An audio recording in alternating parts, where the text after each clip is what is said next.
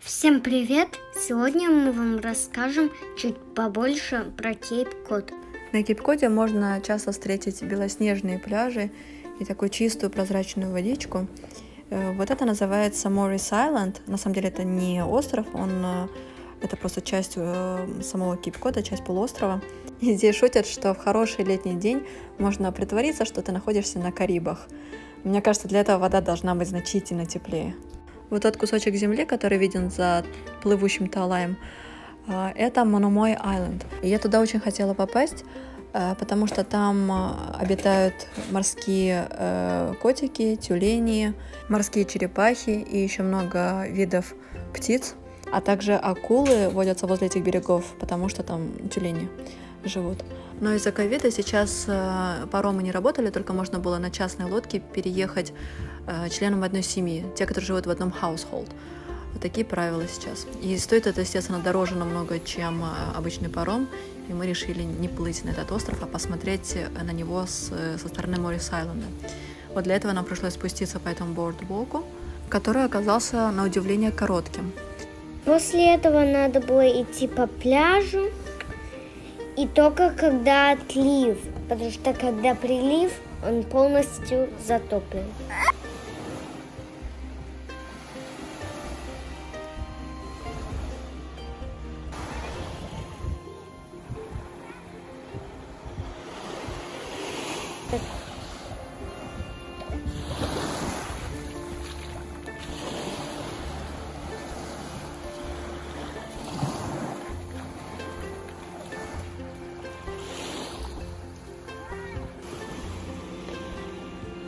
Песчаные дюны, белый песок, лазурная вода – это привычный образ Кип-Кода, но часто встречаются еще такие высохшие прям деревья на берегу на пляже прям.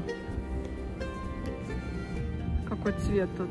Интересный, да, Сана? Вот здесь. Да, почему интересный цвет такой песка? Это потому что там глина в составе. Ты думаешь? Лодки, несущиеся от одного острова до другого, это тоже часть местного пейзажа. И у меня было такое чувство на Кипкоде, что у всех тут, тут у всех просто есть своя лодка. Кстати, один тюлень таки приплыл к нашему берегу, проплыл вдоль него и помахал нам э, плавником. Шучу. Э, он просто проплыл рядом, и мы хотя бы успели одного тюленя заметить, но не успели снять. А это пляж уже в Сэндвиче, где мы снимали домик. И видите, тут тоже белый песочек. Кстати, э, рядом с Кипкотом, на острове рядом с Кипкотом снимали фильм «Челюсти». И везде э, на самом мысе Кипкот э, есть таблички «Be Shark Smart», потому что акулы здесь реальная опасность. Здесь нам понравилось, что целый городок из орви на пляже прям расположился. Почти через весь полуостров проходит длинная такая велосипедная дорожка, Э, на основе э, старых железнодорожных путей. Их разобрали. Э, построили дорожку. Она такая очень приятная, проходит через парки, леса. Называется она Cape Cod Rail Trail.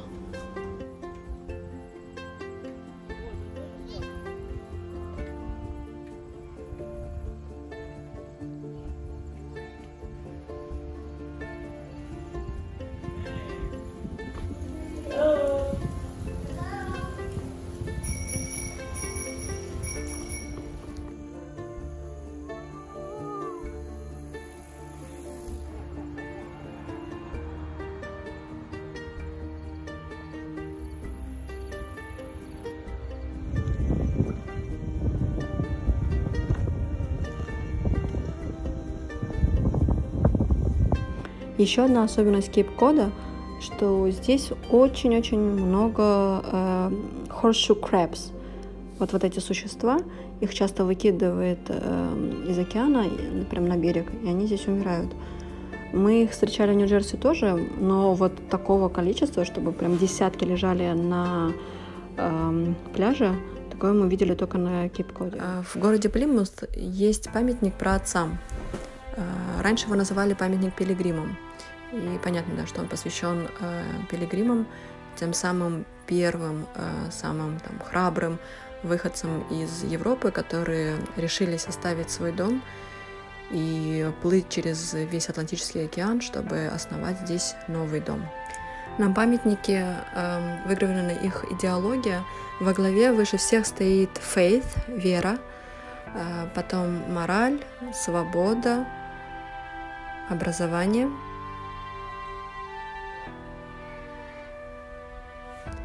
и закон. Они решили, что вот на новой земле это будет э, их главными идеалами, то э, чего они будут придерживаться, к чему они будут стремиться. И эти идеалы легли э, в основу зарождения новой страны Соединенных Штатов Америки.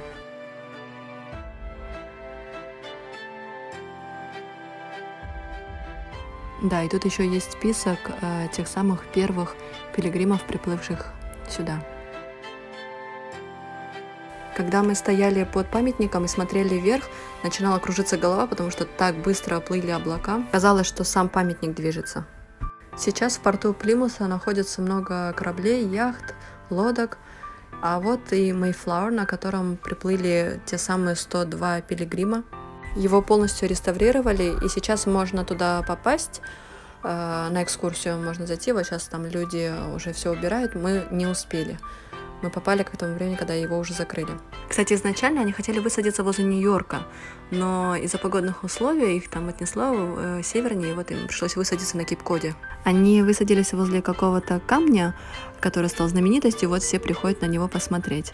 Но Не с Сашей тоже приехали посмотреть на него, и как и пилигримы 400 лет назад, они решили тоже основать здесь новую жизнь. Так что удачи им в этом деле, а всем пока-пока.